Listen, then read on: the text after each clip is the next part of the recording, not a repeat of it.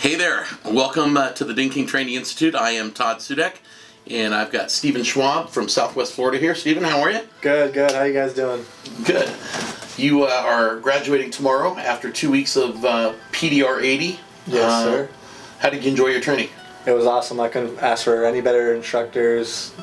Kind of old school guys. Liked it a lot. Good. How much were you paid to say that? Nothing, I swear. I am getting ready to go open up a school in Chicago, New York, and Florida. So I am out of here. So I'm doing this interview uh, a day early. So I just wanted to say uh, hello to Steven. He was a really good guy. He's got an extremely successful uh, auto detail business on the uh, west coast of Florida.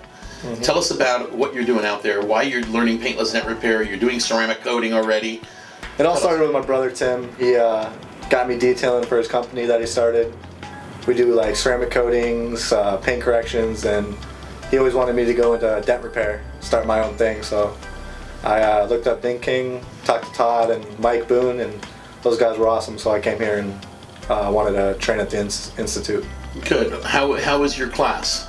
Uh, class was awesome. Classmates were cool. Uh, couldn't ask for anything better here. I'm glad. Yeah. I'm glad. Uh, number one thing that sticks out in your mind about your experience, what would it be? Uh, I loved California.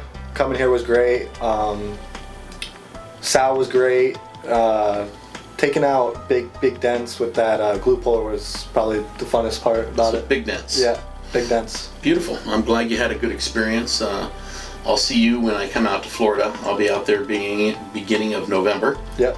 So uh, we'll say hello again. Until then, uh, take care. Thank you, sir. If there's anything I can do to help you, you let me know. No problem. All right. Yep.